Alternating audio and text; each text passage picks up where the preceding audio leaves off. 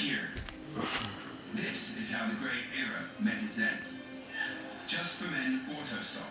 It's a breakthrough. No mix, no mess. It just codes in. And the formula shuts off at just the right colour for the perfect look. What a strange thing. New, just for Some men sort of auto stop. Grey is over. Worm or who knows what it is. Vacation time is here. Very odd thing.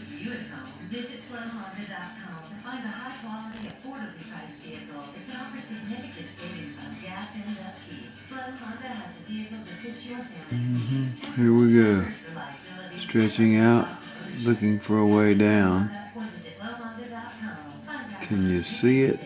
It's moving. Vacation in a new Honda from Flow Honda. Just off I-40 Watch it closely. Here it goes again. Mock Roth Tire and Automotive is a proud sponsor of all Vietnam veterans. It's on the tip of my knife blade. What a strange looking thing. Get great deals now. Save up to 3150 This is not an optical illusion. This is an actual thing. They're gonna put it on the countertop. Now let's watch it on the countertop. Looks like a little piece of snot or something, but watch it move.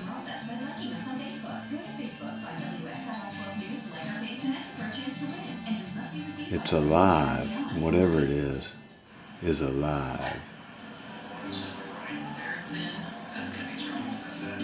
The blob. Enjoy ESPN Live anywhere with this unbeatable offer. Time Warner Cable. Enjoy better. Welcome back. You know, most 80-year-olds probably wouldn't be too much of a match for a trio of would-be purse snatchers. Yeah, then again, most 82-year-old women aren't as tenacious as Sylvia Okay. Miller. There is no stopping Sylvia. She works out daily. She seals and stains her own deck. She even does This is a weird cleaning. thing. When Sylvia was at a Walmart, she noticed Really nasty. women Oop. following her out to her. At first I thought it was a Snatched her purse. She began a hot pursuit, chasing them through the something like mucus. I wasn't afraid one bit. I didn't even think about it. I thought you're not getting away with it. But it's moving. Well, investigating, and Sylvia is eager to Living mucus. Well, she's not the only only person who sprang into action recently. Take a look at the surveillance video. Police said it shows an 81-year-old man going into a gas station. When he does, you can see a carjacker get into the driver's side of the vehicle.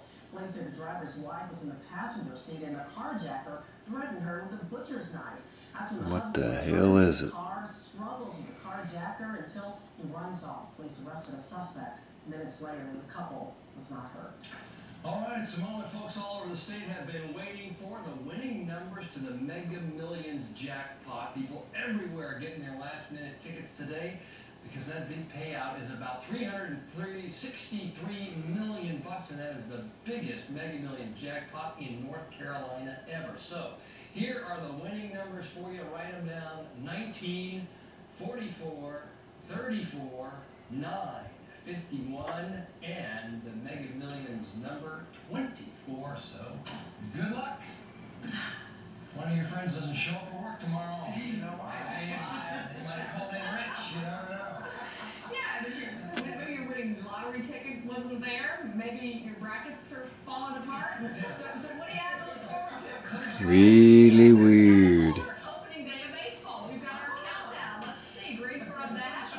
Say Winston-Salem Dash, Greensboro Grasshoppers. I'll get them straight.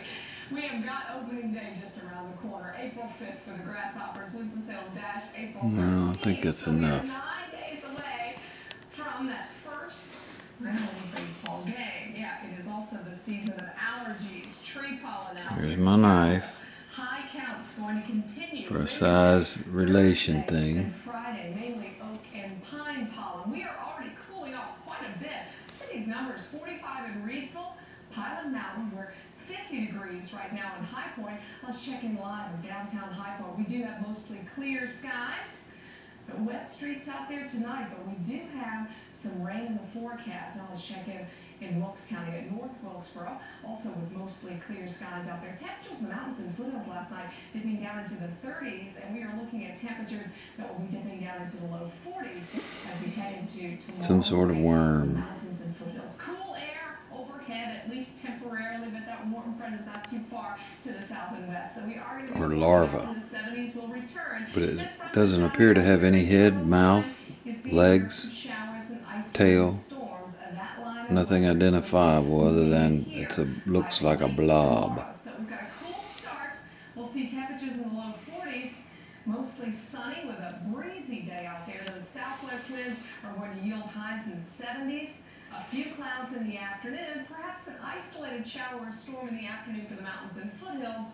Looks like most of it's going to hold off until tomorrow night, and really not anticipating a whole lot. Probably just a few scattered showers, maybe an isolated storm. So breezy and warm is the weather story for the Piedmont Triad up to 76 with a southwest wind at times 10 to even 20 miles an hour tomorrow. You'll definitely notice the wind.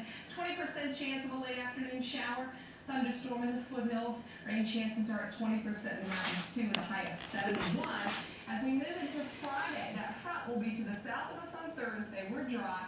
Friday it's still to the south, but it's starting to move back again. So warm front. So it'll be comfortable on Friday in the 70s. As we head into Saturday, we do have another storm system heading our way. And I'll tell you, it looks like it's just going to rain all over the place. But what we're really looking at is kind of a warm, muggy scenario where temperatures are close to 80. And then we're looking for those pop-up showers and thunderstorms, especially in the afternoon on Saturday. Then another front kind of backdooring in here. It's not going to cool us off terribly, but we'll probably go from near 80 to probably the low to mid 70s on Sunday. Things are drying out, and we're going to push that rain up against the mountains and also down south toward Charlotte. Now, speaking of Charlotte, big day on Saturday, Charlotte Motor Speedway. But as the Vietnam Veterans Homecoming celebration, of course, WXNI High 12 will be bringing you some live Very small. but also a special that Kmart has been working on. That's going to run Saturday night. Talking to all the veterans out. If you're going to be at Charlotte Motor Speedway, those temperatures are going to be warm. We've got 80 degrees, 30% chance of showers and storms. If you're going to Martinsville to watch the NASCAR race on Sunday, right now it looks dry. With a few clouds, temperatures will be near 70. There's your seven-day forecast. You notice our seven days of 70s. Notice two no 30s at night. We've got that chance of showers and storms on Saturday. We'll be right back.